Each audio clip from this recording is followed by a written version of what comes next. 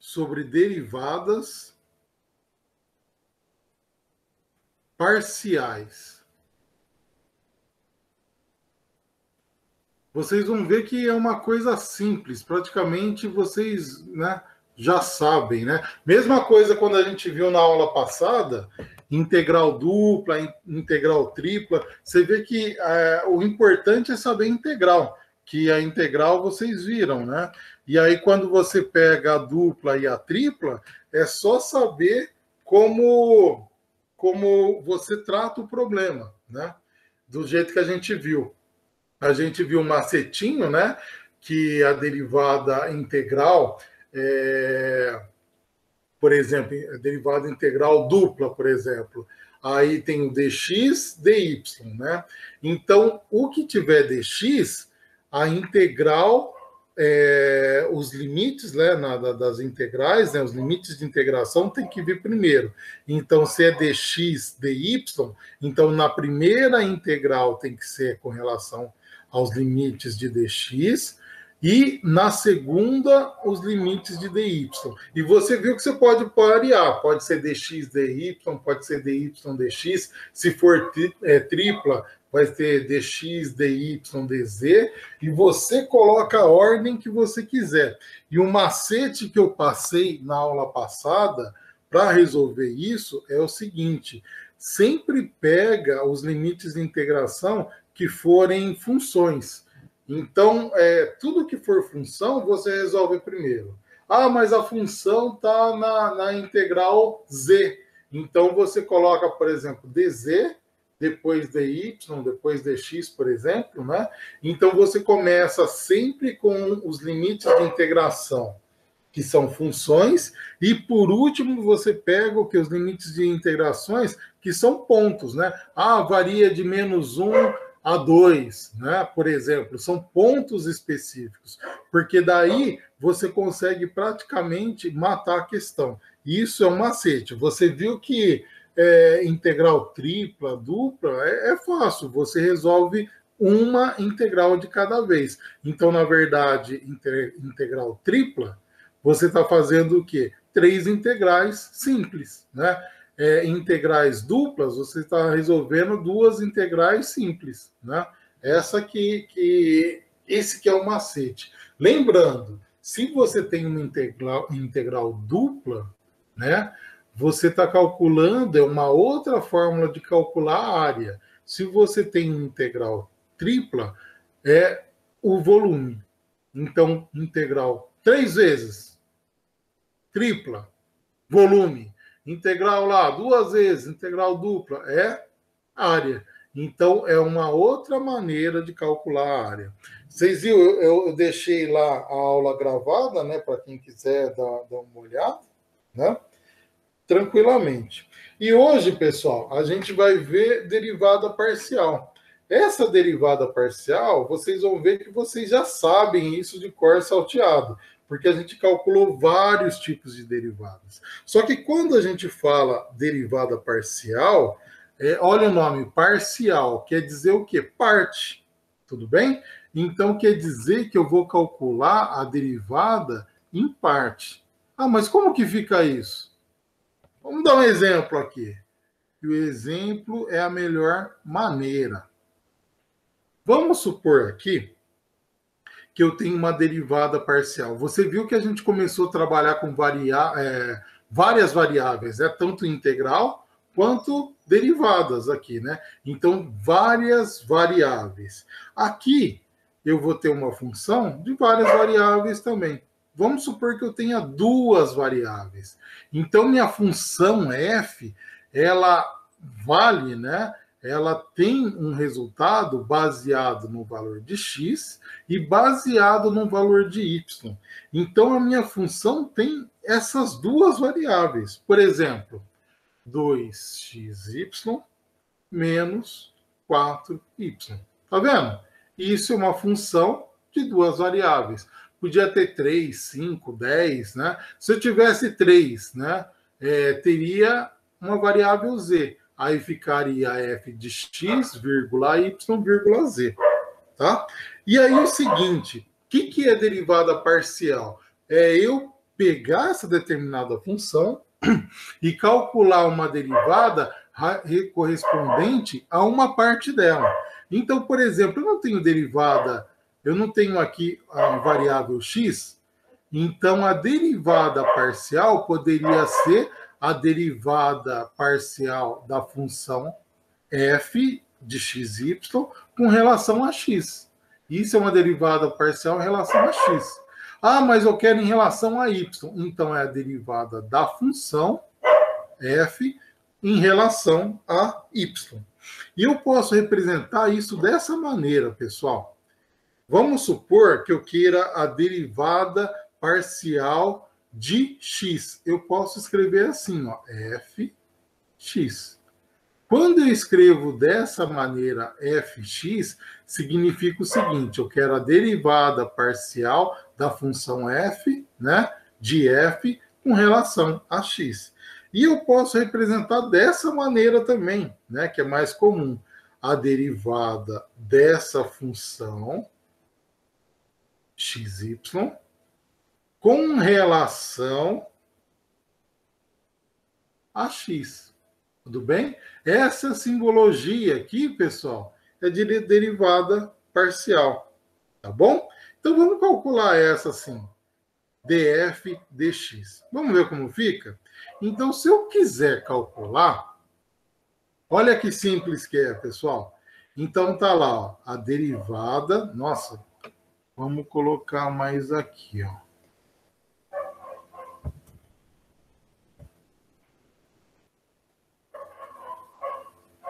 a derivada da função f com relação a x. Vamos ver como fica isso? O que, que é essa função f? Essa função f, você viu que está sendo representada por quê? Ó?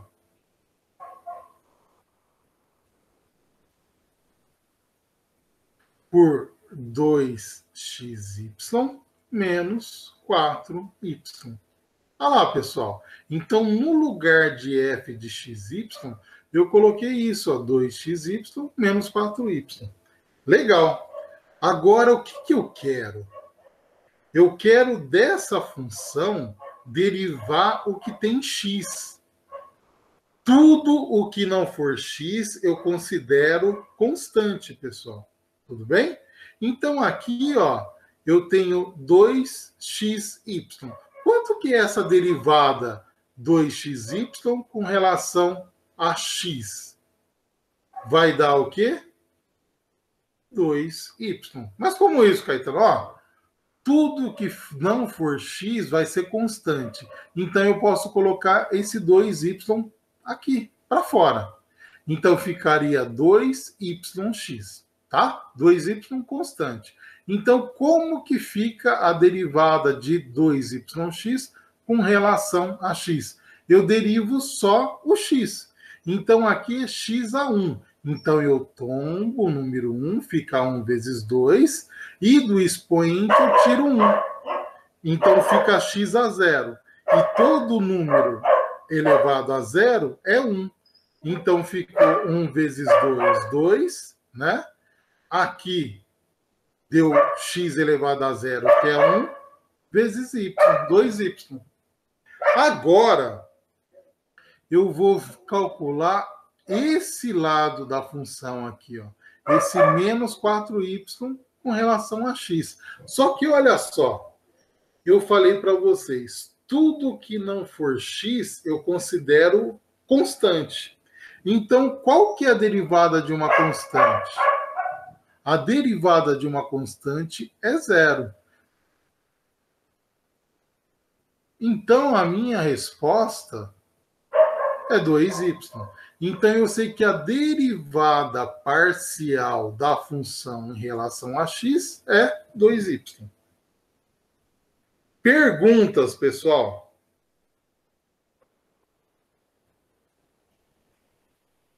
Quero saber se alguém tem alguma dúvida até aqui. Se está tranquilo.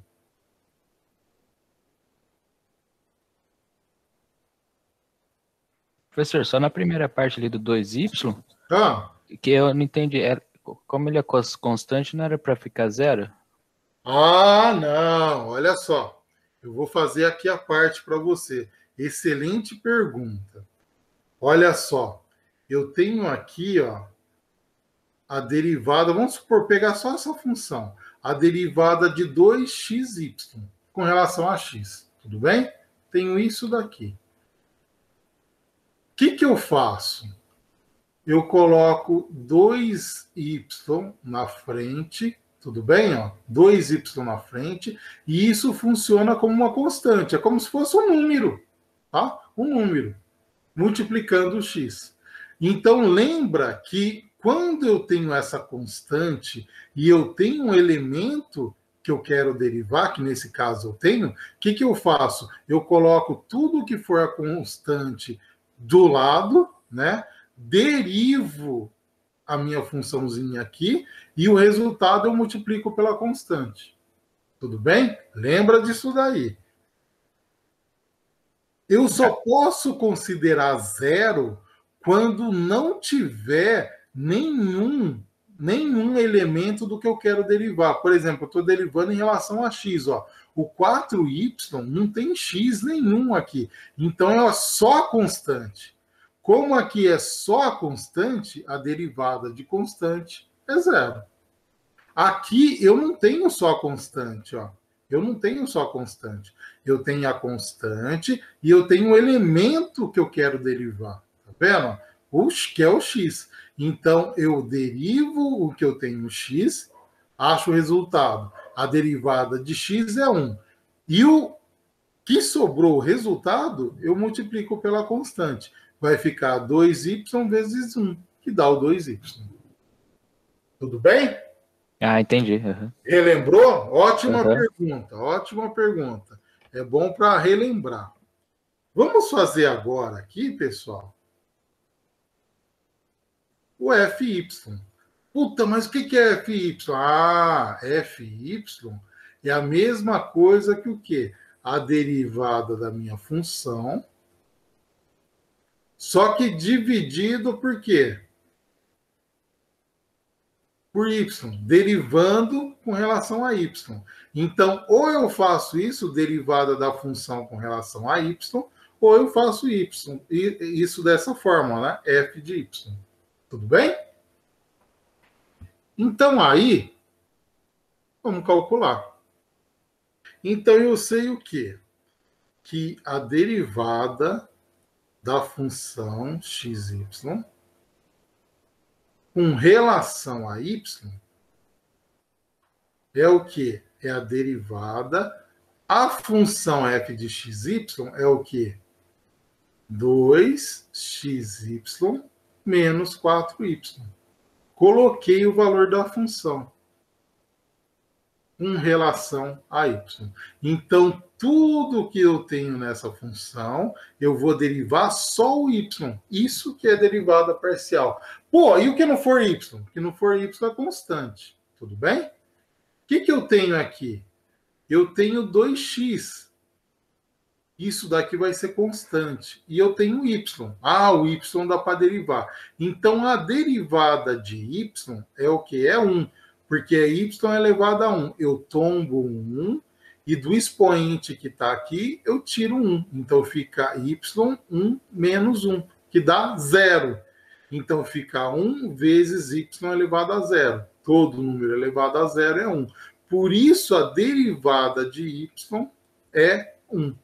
Então, vai ser a derivada de y1 vezes 2x. Então, eu tenho como resposta 2x. Agora, vamos calcular a derivada de menos 4y. Então, o 4 é constante, deixa ele guardadinho aqui. Vamos calcular a derivada de y. A derivada de y é 1 vezes a constante, menos 4. Então, dá menos 4. Então, a derivada dessa função em relação a y é 2x menos 4.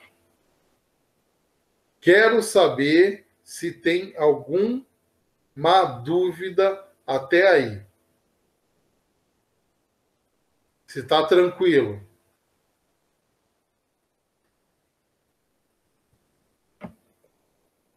Beleza? Vamos fazer o item C. O item C, eu quero a derivada parcial da função, só que no ponto 1, 1. Mas derivada parcial do quê? De x. Então vamos lá. Como que eu resolvo isso? Simples. Eu primeiro derivo a função em relação a x. Só que eu já fiz no item A. Ó. A derivada dessa função em relação a x vai ser o quê? Ó? A derivada dessa função 1,1 em relação a x é o quê? Olha o que, que deu. 2y. Então aqui eu coloco o quê? 2 y. Só que o y vale 1. Então aqui fica 2 vezes 1, que é igual a 2. Então a derivada da função no ponto 1, 1 em relação a x é 2. Veja se está tranquilo. Dá uma olhada, vê se tem alguma pergunta, não tenha vergonha. O negócio é não sair com dúvida. O negócio é, né, pegar. Vamos fazer agora a derivada da função no ponto menos 1, 1, com relação a y. Então, eu estou calculando o quê? A derivada parcial de f com relação a y, só que agora num ponto. Só que no item B, o que, que eu fiz? Eu vi que a derivada parcial dessa função em relação a y, ela dá o quê? 2x menos 4. Então deu 2x menos 4. Só que eu tenho que substituir pelos esses pontos. O x vale menos 1 e o y vale 1. Só substituir, ó. 2. No lugar do x eu coloco menos 1.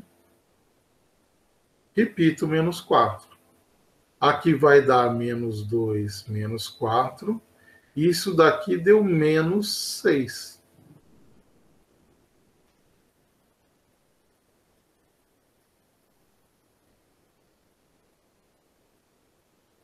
Dá uma olhada, vê se está tranquilo.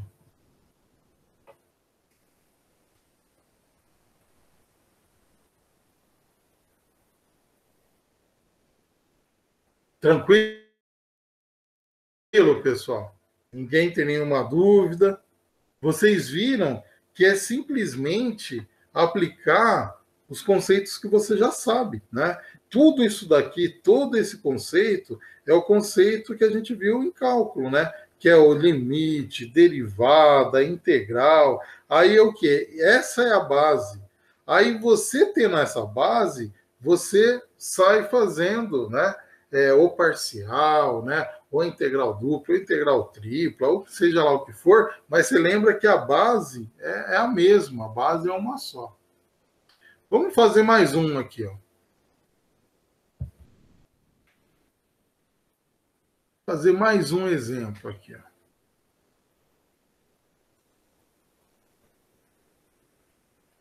Vamos supor agora que eu tenha o z é igual a uma função com duas variáveis, ó, x, y.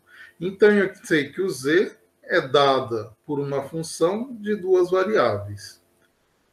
Ou seja, eu tenho x quadrado mais y ao quadrado mais z ao quadrado igual a 1 para z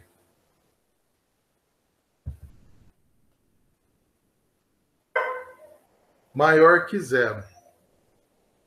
Aí eu quero saber, no item A, qual que é a derivada da função z com relação a x?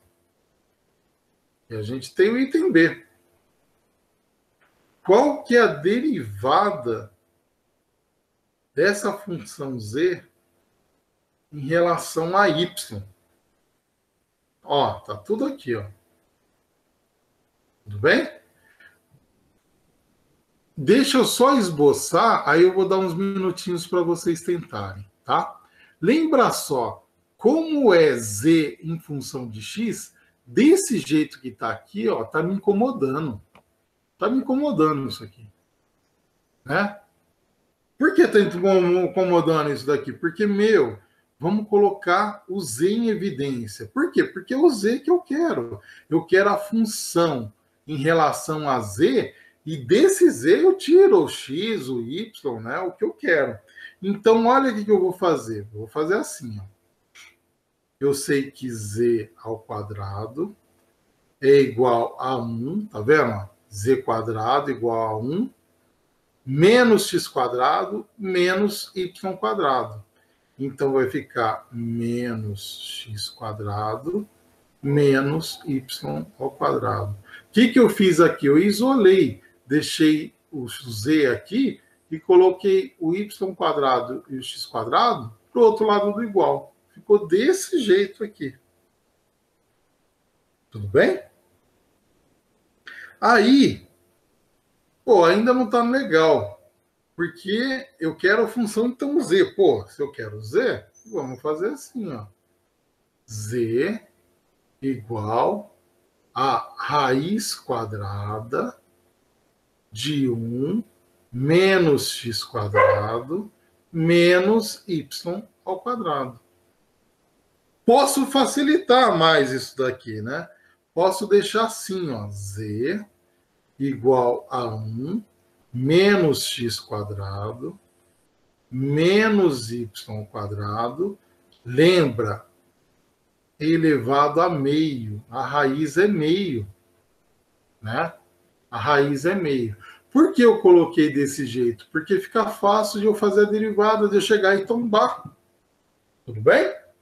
Pessoal, cheguei nessa equação aqui, tá vendo? Me deu isso, deixei a equação facinho aqui. Agora, dessa equação, fica fácil de eu calcular a derivada dela em função de x e a derivada dela em função a y. Vou dar uns minutinhos aí para vocês fazerem, esboçarem. Quem conseguir é, o valor já no item A, já me avisa aqui que já ganha os pontinhos. Cinco minutinhos aí para tentar fazer.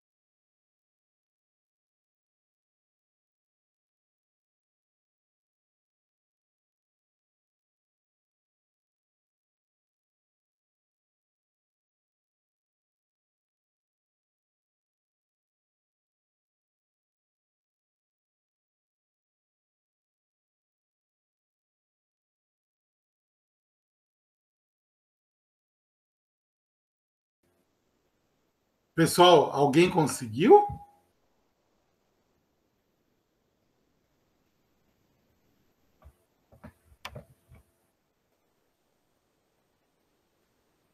Alguém está na metade? Que pé que tá?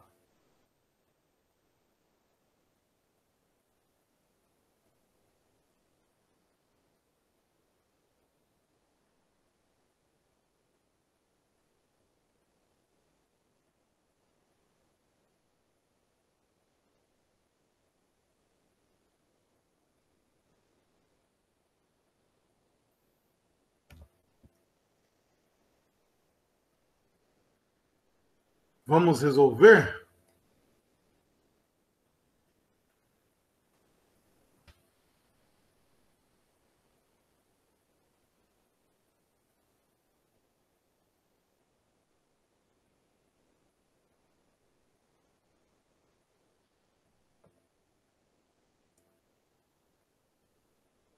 No item A, eu quero DZ dx. Então vai ficar d. Eu sei que o z vale 1 menos x quadrado menos y ao quadrado elevado a meio dx. Só que é parcial, é com relação a x. Então vamos lá. Como que eu resolvo isso daqui? Regra da cadeia: resolvo de fora, depois o de dentro. Para eu resolver isso, essa derivada, lembra, eu tombo o número, então tombei ficou meio, certo? Ó, tombei o número. Do que sobrou, que é 1 menos x quadrado menos y quadrado, do expoente aqui, eu tiro um. Né? Então, do expoente aqui, né, que sobrou meio, eu tiro um. Então, meio menos um vai dar para mim menos meio. Lembrando, pessoal, que eu fiz isso a derivada a parte de fora, que é tombar o expoente da função que eu tenho, do expoente, eu tiro um. Agora eu tenho que derivar o que está dentro. Então, derivei o que está fora, agora derivo o que está dentro. Derivando o que está dentro, lembrando que é relação a x. Então, vamos lá. Derivada de 1, que é uma constante, em relação a x, é zero, porque é uma constante. Derivada de menos x quadrado em relação a x vai dar menos 2x. Derivada de menos y ao quadrado com relação a x, ó, não é x, não tem x. Se não tem x, é uma constante. Isso tudo é uma constante. Derivada de uma constante é zero. Então eu sei que a minha resposta ficou isso. Ó. Esse 2, eu corto com esse 2. Então, vai ficar dz dx vai ser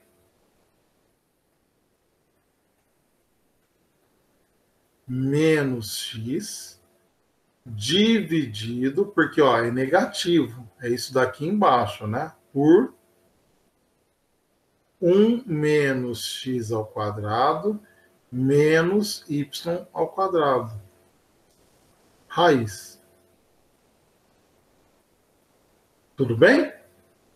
Quero saber se alguém tem alguma pergunta. Tem alguma dúvida aqui? Vê se está tranquilo.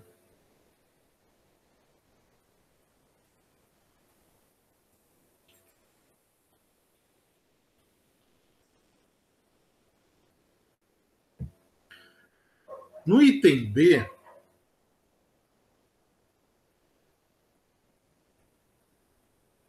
aqui no item B,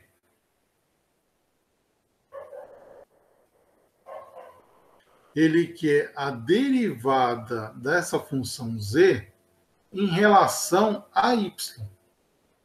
Então vai ficar a derivada da função z, que é 1 menos x ao quadrado, menos y ao quadrado, elevado a meio, com relação a y. Então vamos lá. Derivando essa função, mesmo esquema, eu tombo o expoente. E do expoente que sobra, eu tiro 1. Então, meio menos 1 vai dar aqui menos meio. Eu derivei a parte de fora, agora tem que derivar a parte de dentro. Então vamos lá. Derivada de 1 em relação a y, 1 é uma constante, então é zero. Derivada de menos x em relação a y, menos x é uma constante, então é zero.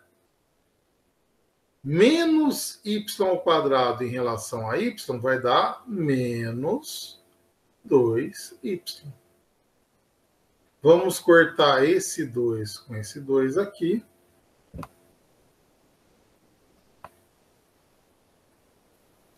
Então, aqui a gente vai ter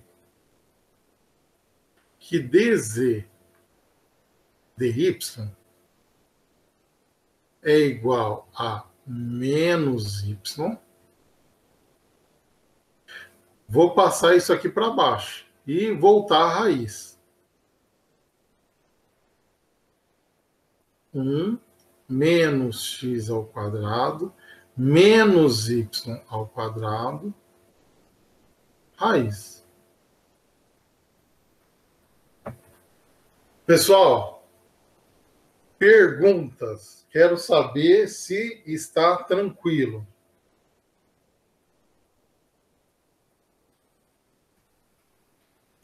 Dá uma olhada aí com calma.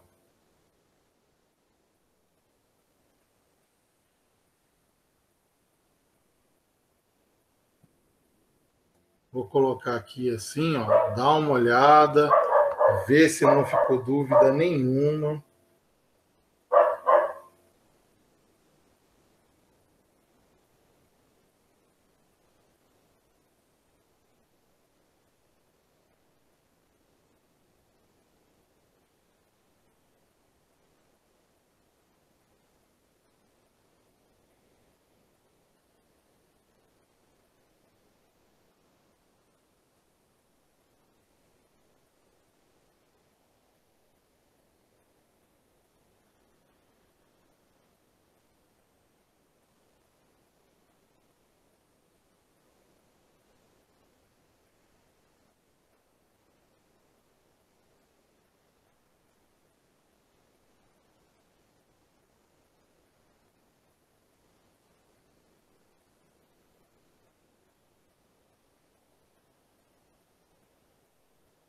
Olha com calma.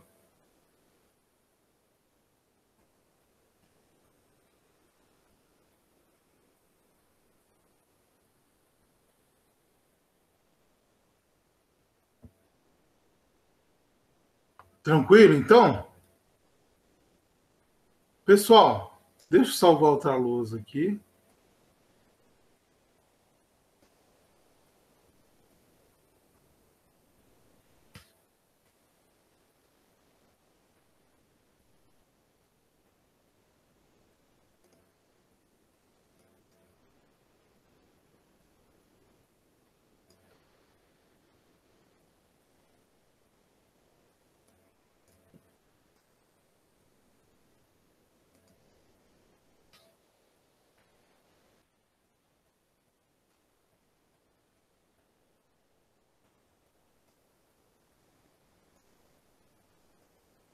Vamos ver agora, pessoal.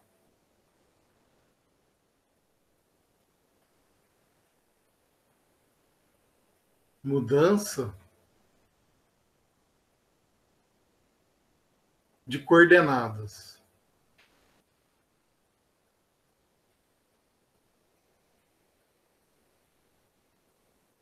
a gente tem trabalhado até agora um sistema de coordenadas cartesiano. Tá vendo? Tem o x, o y, né? Então, você via que eu tinha função em relação a x em relação a y, né? x e y. Mas, pessoal, eu não tenho só isso. Ao invés de trabalhar com x, ao invés de trabalhar com y, eu posso trabalhar alternando as minhas coordenadas, né? Eu posso fazer com que elas sejam, por exemplo, polares. O que é uma coordenada polar? Coordenada polar é quando eu trato ela através de um, um, hipotenusa, né? Que eu vou falar para você, que vai ser o raio. E eu tenho também o que? Um ângulo.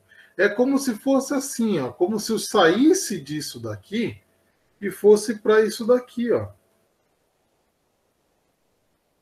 Como se eu tivesse um raio e um determinado ângulo. Então, isso é uma coordenada polar. Agora, por que eu faço esse tipo de transformação? Porque muitas vezes isso pode me ajudar no cálculo, tudo bem? Então, eu posso ter tipo de cálculo que fica muito mais fácil para eu resolver o exercício, o problema, através de desse jeito, né, através de raio e ângulo, do que por x e y. Então aí eu faço o que? A transformação. E para fazer a transformação é algo tranquilo. Olha só. Eu vou colocar para vocês aqui, ó, um eixo coordenado maior aqui, para facilitar a visualização. Eu tenho aqui o eixo x. Eu tenho aqui o eixo y, que é o sistema de coordenadas. Tudo bem? Vamos fazer aqui, ó, um triângulo. Um triângulo retângulo. Aqui, ó, triângulo retângulo. Eu sei que esse lado aqui, ó, do triângulo é hipotenusa, é a maior, é o maior lado. Aqui está no eixo x, então eu vou chamar aqui, ó, esse lado de x Aqui é o eixo Y, né? Eu vou chamar esse lado aqui de Y. E eu tenho um ângulo que eu vou chamar o ângulo aqui de θ. Tudo bem? O que, que eu vou fazer aqui? Eu vou representar os meus valores de x e y baseado em r e θ. Tudo bem? Primeira coisa importante aqui para saber qual que é o valor do R. Lembrando que isso é um triângulo retângulo, vale a relação de Pitágoras. Então eu sei o quê?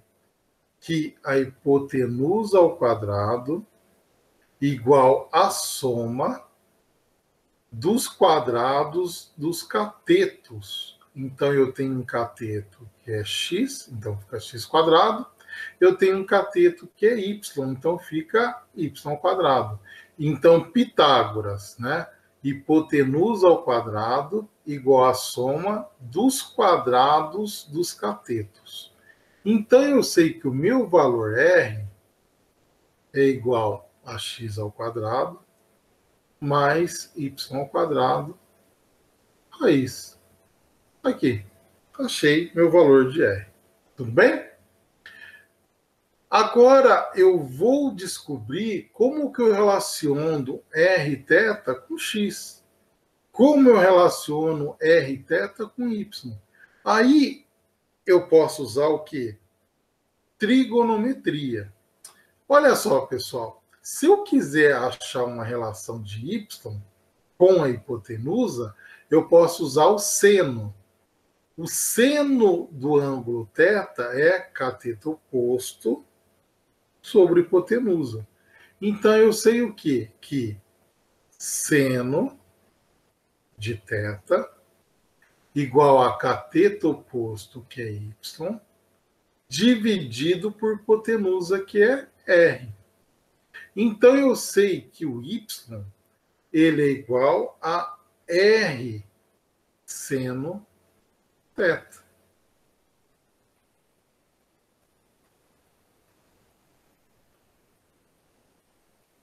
Tá?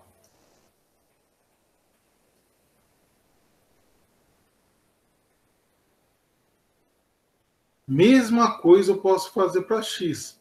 Só que aqui é cosseno. Ó.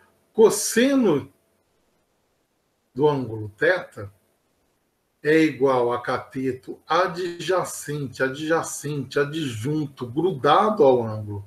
Cateto adjacente, que é x, dividido pela hipotenusa, que é r.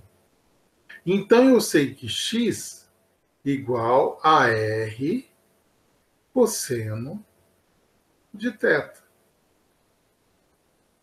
Ah, Caetanão, consegui fazer uma relação aqui, né? Que outra relação eu tenho? Eu tenho a relação de tangente. Eu sei que a tangente de θ é igual ao que? Cateto oposto, que é y, dividido por cateto adjacente, que é x. Isso é uma outra relação que eu tenho. Tudo bem? Veja se até aí está tranquilo. Eu posso escrever o meu R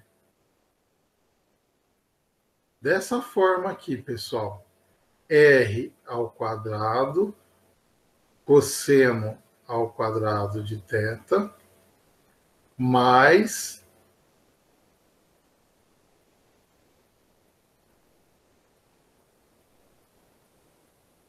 r ao quadrado seno ao quadrado de θ. Então, no lugar do x, eu coloquei o quê? R cosseno θ. No lugar do Y, eu coloquei R seno θ. Tá? Aí eu posso fazer o cálculo de tudo isso daqui. É uma maneira. Coloquei um dentro do outro. Vamos fazer um exercício aqui. Vamos supor, pessoal,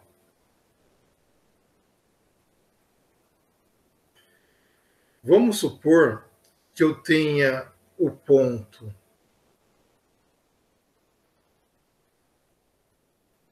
dois pi sobre três em coordenadas polares.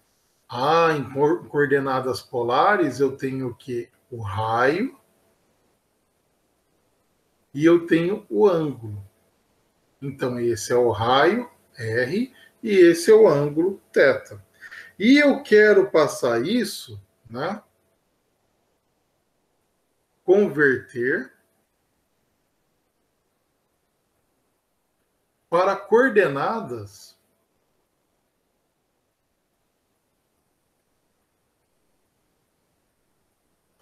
cartesianas.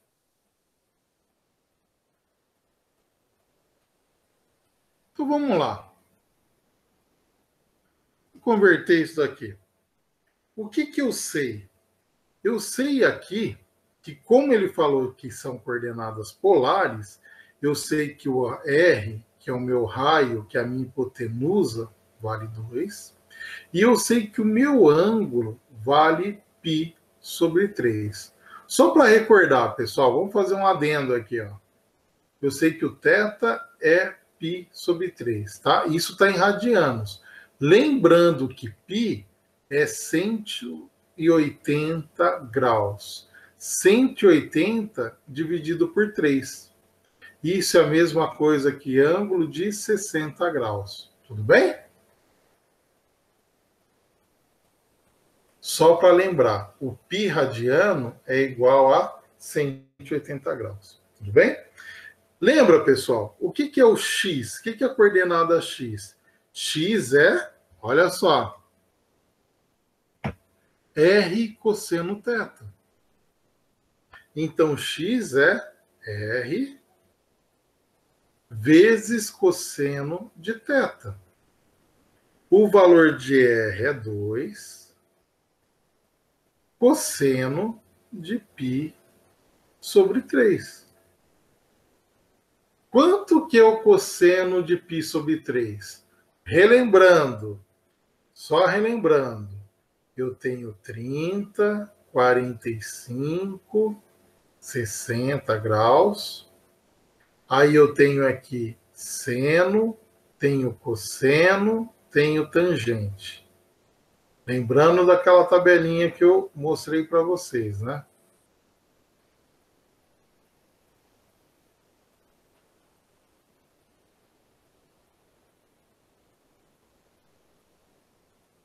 Tá aqui. Lembra daquela musiquinha ó, que eu falei para vocês, ó? Um, dois, três, três, dois, um. Tudo sobre dois. Então divido por dois aqui, ó.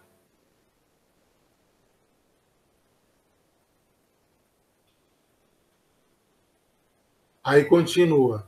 Raiz de dois, raiz de três, tudo outra vez.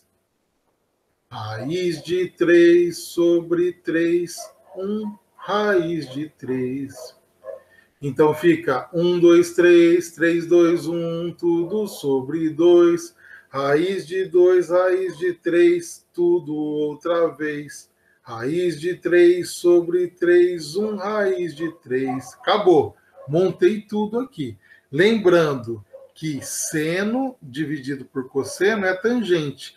Eu cheguei nesse resultado dividindo o seno por cosseno. Então, meu x é igual a 2 vezes cosseno de π sobre 3. Só que cosseno de π sobre 3 é 60 graus. Então, o cosseno de 60 vai ser quanto? Meio. Então eu sei que o meu valor de x é 1. Vamos achar agora o valor de y. y igual a r seno de θ. O r vale 2, seno de π sobre 3. No lugar do r, meu 2, Aí seno de π sobre 3. π sobre 3 é 60. Então, seno de 60 é raiz de 3 sobre 2. Isso vai dar raiz de 3. Então, eu sei que o meu ponto é x igual a 1, y raiz de 3, um cartesiano.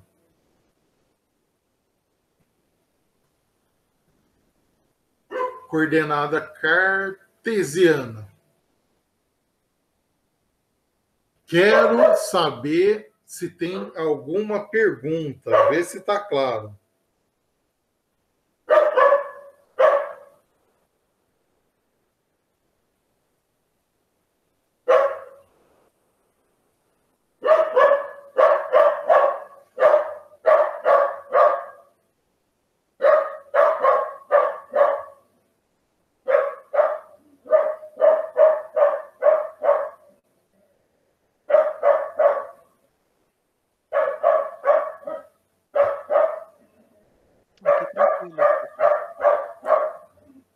Fala um pouquinho mais alto que eu não ouvi. O cachorro do vizinho tá, tá latindo. Opa, é, tava meio longe. Aqui, tranquilo, ok. Uhum.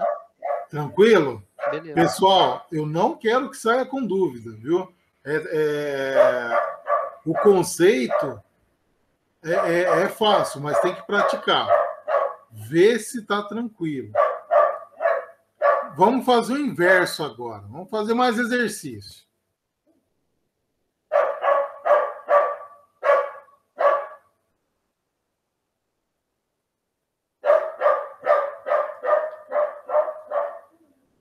Eu tenho agora a coordenada cartesiana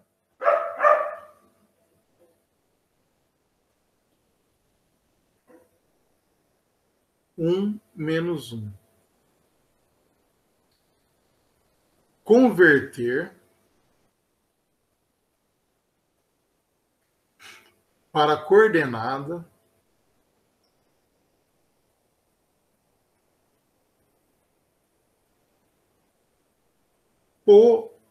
polar. Pessoal, cinco minutinhos aí para esboçar.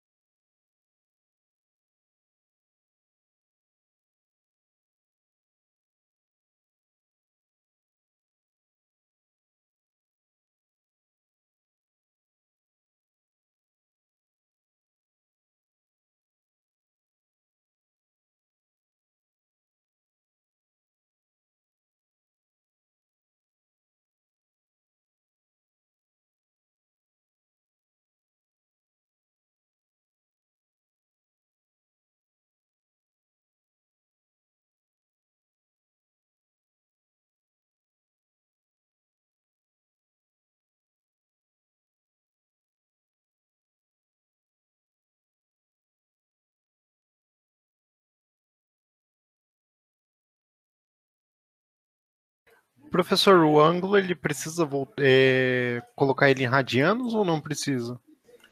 Excelente pergunta, João Pedro. Lembra que é coordenada polar. Se é coordenada polar, ela é dada por o raio e ângulo. Então tem que ter o ângulo. Aí, o ângulo pode ser em graus ou pode ser em radianos. Usualmente é em radianos, tudo bem? Se o problema não especificar, você pode deixar em grau também. Ah, na pergunta não teve nada, tudo bem, né? Não falou nada, tudo bem. É, mas usualmente vai estar em radiano, tudo bem? Então tem que ter o raio, tem que ter o ângulo. É, então, no caso, eu encontrei raiz de 2 e π sobre 4. Ai, meu Deus. C é dose. Você é dose. Tem um negocinho só que você é, caiu. Você caiu, você caiu num, num, numa pegada aí que você não, não levou em consideração. É, a resposta que você deu não é essa. Não é essa. Mas é, tá quase. Você errou porque você não colocou, não, não pensou num ponto.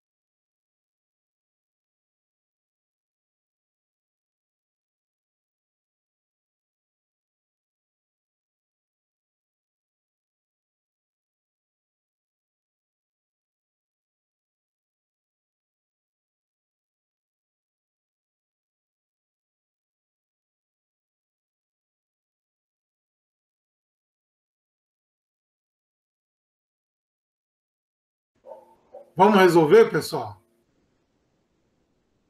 Vamos lá. Pessoal, eu tenho um ponto aqui.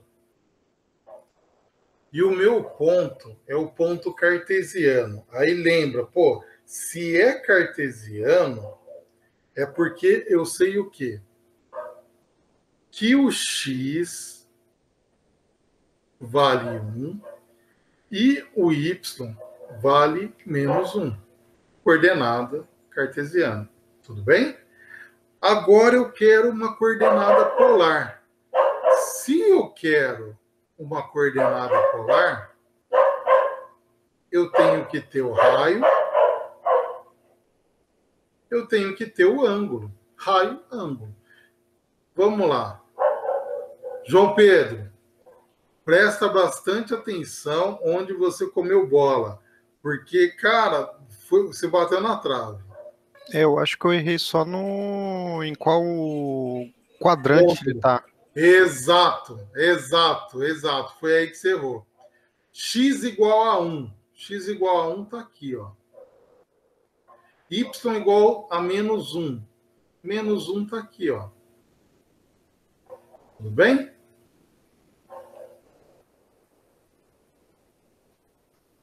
Aí, pessoal.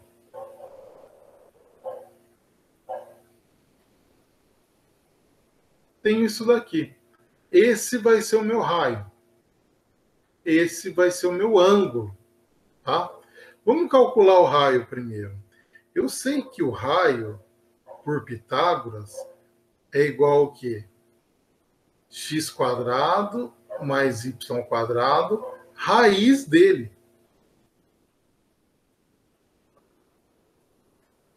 Então eu vou ter a raiz. O x vale 1.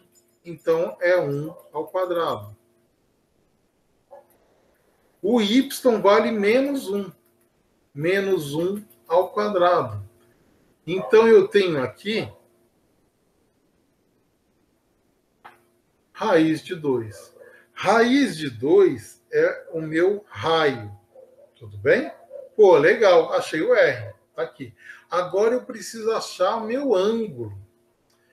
Eu sei aqui, ó, que a tangente de θ, a tangente desse ângulo é cateto oposto, que está aqui, que é menos 1, dividido por cateto adjacente, que é 1. Então, eu tenho uma tangente aqui que vale menos 1. Aí eu tenho que descobrir o que, pessoal? Qual que é o ângulo cuja tangente desse ângulo dê menos 1?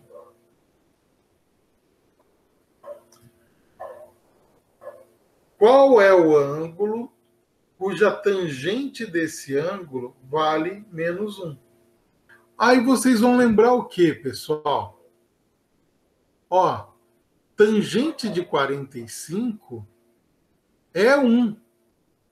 Ah, então esse ângulo aqui vai ser um ângulo proporcional a 45 graus, né? Vai ser um ângulo proporcional a 45 graus. É como se fosse assim, ó.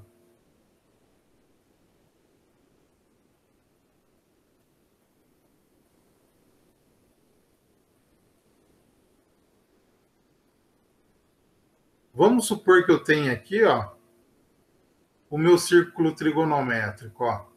Aqui, ó, tem o θ 45 graus, né? Eu tenho outro ponto relacionado a ele aqui, tem outro ponto relacionado a ele aqui, e tenho outro ponto relacionado a ele aqui, ó. Tudo bem? Olha lá, ó. O que, que é esse daqui? É 180 menos 45. Que é o quê? 180 graus menos 45. O que, que é esse ponto aqui? É o 180 mais 45. O que, que é esse ponto aqui, ó? É o que? O 360, né? Que está aqui, ó. Tudo isso daqui é 360 menos 45. 360 graus menos 45. Tudo bem? Quanto que dá 180 menos 45, pessoal?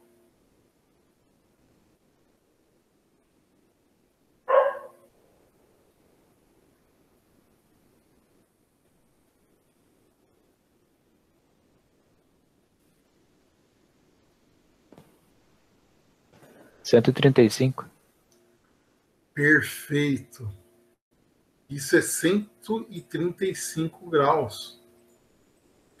Quanto que é 180 mais 45? Isso é 225 graus. Quanto que é 360 menos 45? Isso é 315 graus. E o ângulo que eu tenho, pessoal, é esse daqui, é esse ponto, ó. Primeiro, segundo, terceiro, quarto quadrante. Se é o quarto quadrante, esse ângulo θ aqui, ele é 315 graus, ou esse ângulo θ aqui é igual a menos 45 graus. Tá vendo? Aqui é mais teta, aqui é menos teta. Então, esse ponto aqui, ó, é o menos teta, menos 45. Então, pode ser 315 ou menos 45, tudo bem? Só que eu falei para vocês o seguinte, Normalmente, se o problema não pediu, eu posso deixar em ângulo. Eu poderia deixar como resposta ó, o meu ponto raiz de 2, que é o R, e 315, que é o θ. que estaria certo. Ou raiz de 2, que é o R, menos 45 graus, que é o θ, que também está certo. Mas, usualmente, a gente vai deixar em radiano. Se o problema não pedir, você pode deixar em graus, certo? Mas o usual é estar tá em radianos. Então, vamos passar para radianos. Como que faz isso? Ó? Lembrando, ó, π tem 180 graus.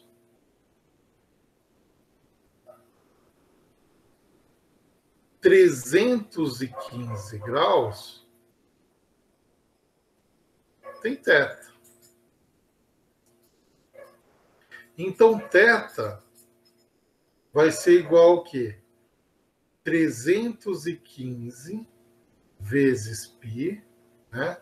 Multipliquei em cruz, dividido por 180. Tudo bem? Que, que eu posso simplificar aqui, pessoal?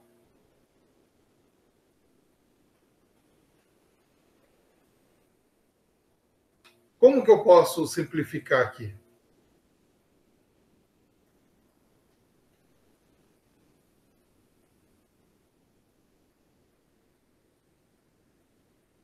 Posso dividir em cima e embaixo por quanto, pessoal?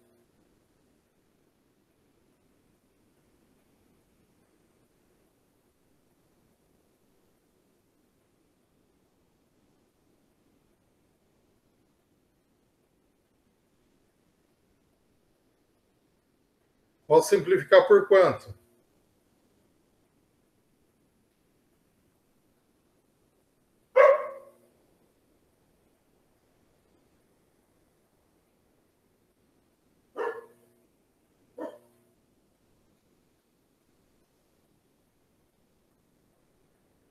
Por, é, por 45? Por 45? Se eu dividir 315 por 45, aqui dá 7. Se eu dividir o 180 por 45, isso daqui dá 4. Consigo simplificar mais? Não, né, pessoal? Não consigo. Então a resposta pode ser raiz de 2, 7 π sobre 4. Ah, mas olha só. Eu posso colocar aqui, ó, o menos 45. Então ficaria π igual a 180 graus menos 45 graus igual a teta. Vamos fazer também, né? Então, teta vai ser igual a quê?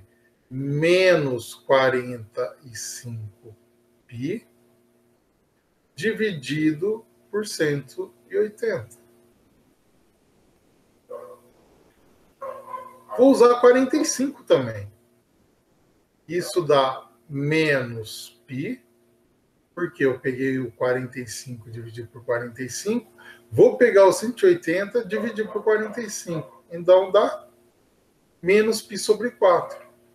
Então, a outra resposta, raiz de 2, menos pi sobre 4. Perguntas, pessoal? Vê se está tranquilo.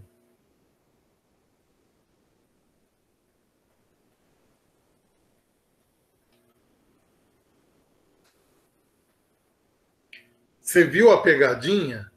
Isso que vocês têm que prestar atenção. Ó. Deu o eixo coordenado aqui, né? O plano cartesiano aqui, os meus pontos cartesianos, já coloca ele aqui no gráfico Tá? Porque daí eu sei em que quadrante ele está? Primeiro, segundo, terceiro ou quarto quadrante. Sabendo em que quadrante está, eu sei o valor do ângulo. Porque se não fizer isso, você pode cometer algum errinho. Tá? Tranquilo, pessoal? Alguém tem alguma pergunta nisso daí? Fácil?